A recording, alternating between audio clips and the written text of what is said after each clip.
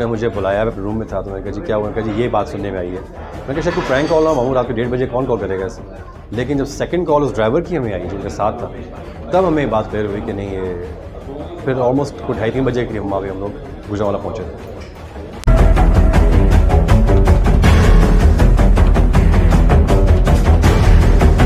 जी के फैंस और हम फैमिली मेंबर्स इस बात का जवाब गवर्नमेंट से चाहते हैं। कि भाई अभी तक ये केस रिजॉल्व क्यों नहीं किया गया? एक चश्मदीद गवाह ज़िंदा है, मौजूद, उससे क्यों नहीं इस बात की इन्वेस्टिगेशन की जाती है? प्रॉपर तरीके से कि ये केस क्यों नहीं होता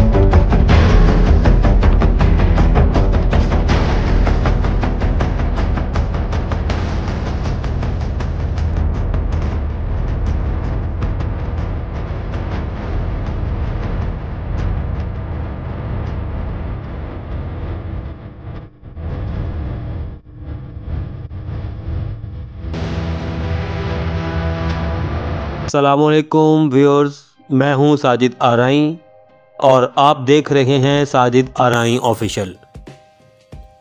Viewers, great Sultan Rahi की 26वीं बरसी के सिलसिले में प्रोग्राम कौन कहाँ पर था कि आखिरी दो इकसात पेश की जा रही हैं?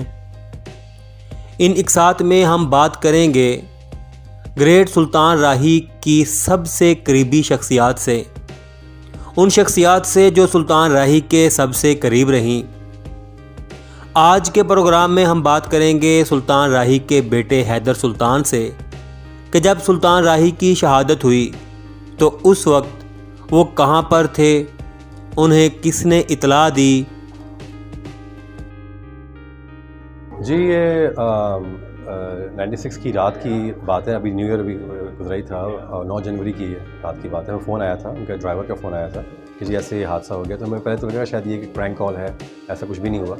लेकिन जब दोबारा कॉल, सेकंड कॉल जब हमें आई तो हमें जब बताया गया ऐसा हुआ है तो फिर कुछ हमें कंफर्म हुआ कि शायद बाकी कुछ ऐसा मसला बन गया है। फिर जब हम लोग गुजरावाला जब पहुँचे तो आगे सारी बात ओपन हो गई थी कि क्या मसला बना। तो मेरा यही मानना है कि छब्बीस साल इस बात गुजर चुके हैं और अबू जी के फ़ैन्स और हम फैमिली मेंबर्स इस बात का जवाब गवर्नमेंट से चाहते हैं कि भाई अभी तक ये केस रिजॉल्व क्यों नहीं किया गया? एक चश्मदीद गवाह ज़िंदा है मौजूद है उससे क्यों नहीं इस बात की इन्वेस्टिगेशन की जाती है प्रॉपर तरीके से कि ये केस क्यों नहीं अभी तक ओपन हुआ? किसने की जी रात को उस वक्त डेढ़ बजे का वक्त था और जब कॉल आई है तो मुझे हमारे मामू घर पे थे उन्होंने कॉल अटेंड की थी। उन्होंने मुझे बुलाया मैं अपने रूम में था तो मैंने कहा जी क्या हुआ? कहा जी ये बात सुनने में आई है। मैंने कहा शायद कोई प्रैंक कॉल ना मामू रात को डेढ़ बजे कौन कॉल करेगा ऐसे? लेकिन जब सेकंड कॉल उस ड्राइवर की हमें आई जो साथ था, तब हमें बात क्लियर हुई कि नहीं, ये फिर ऑलमोस्ट ढाई तीन बजे के वहाँ पे हम लोग गुजरा वाला पहुँचे